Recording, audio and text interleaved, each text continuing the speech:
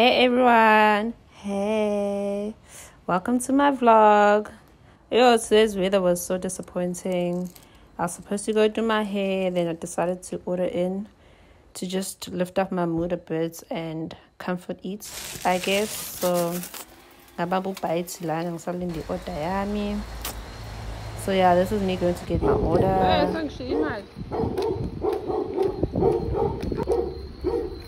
Back with the money and then this is me going to fetch my order. And yeah let's check out the review. Okay i haven't touched anything. But can you please review the chips? I want to put the chips on like why are they so small? Why? Where's the rest of them?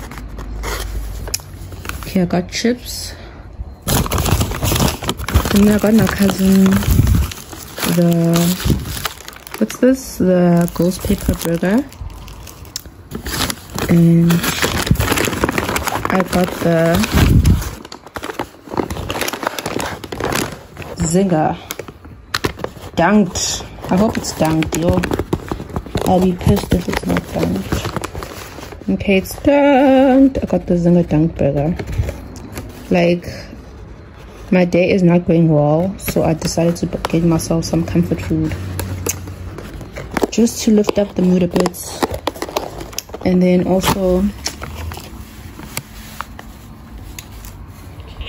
some coke. Like it sucks that they only offer cool drinks. It would be nice if they can also include like how much juice you know. But anyways yeah this is my order so this is how the burger looks. It's so messy. The lettuce is like falling apart. The cheese looks so fake. It's giving paper. It's giving plastic. Like, taste it. Hmm. Hmm. Hmm. That was too good. Let's get the dough. The sauce is very good like as you bite it it's like it's very dunky. It's giving dunk wings. And it has like a hot patty so it's not like your normal um patty chicken patty but it also has like some spicy some spiciness. Mm.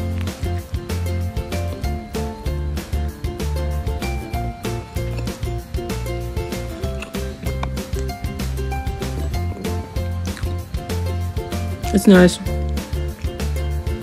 So once again, if you like spicy food, you can try it out. It's actually nice.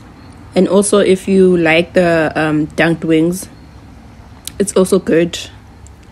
So you can also try it out. And yeah, out of five, it's definitely a five out of five. It's giving everything it's giving.